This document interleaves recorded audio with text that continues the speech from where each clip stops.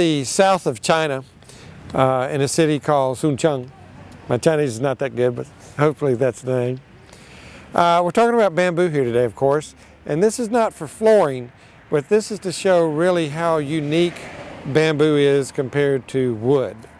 First of all, bamboo is a grass. It's not a wood like an oak tree or a pine tree. The bamboo stalk is actually a grass. And this product has been used here in China for well over a thousand uh, years for so many different pur purposes. Now, let me just show you something that's unique here. As you can see behind me, there's just literally hundreds of thousands of strips of bamboo. Some are cut uh, very thin. Uh, this is about uh, the size of a matchstick. And others are cut in little strips uh, so that they can be used for another purpose. But let's talk about uh, these as a whole. Bamboo is very flexible. You could never cut a piece of wood like pine or oak in a strip this small. If you did, it would break. But with bamboo, this is super flexible. In fact, I can take this and I can tie it into a knot. Let me show you with another one here. Uh, you can take this and twirl it and twirl it and twirl it and twirl it and it doesn't break. Now, the reason for that is because in bamboo, the fiber runs the whole length of this up the stalk of the whole tree.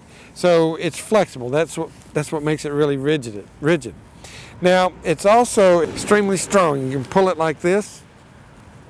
Obviously, you can break bamboo, but it's extremely strong and extremely durable. Uh, something else that's interesting about it is uh, that it's uh, versatile. It can be used for so many different purposes. For example, these thin strips here are going to be used in a, um, uh, like window shades, window blinds. And these strips here, the little flat ones, they can be used to uh, make uh, like mats or baskets and all different types of things. So this is just some of the uses that bamboo can be used for. And I wanted you to just to get a sense of uh, how this little factory, as it were, uh, is drying just millions of strips of these to be used in other products. So it's really incredible. It's green. It can be recycled, repurposed, and used for so many different things.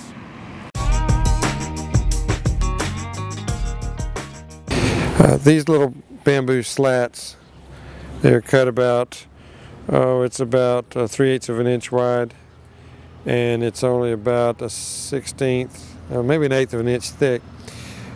But you can, again, you can see the knuckles, the joints uh, in the bamboo stalk. Here's another joint in the stalk. Here's another joint.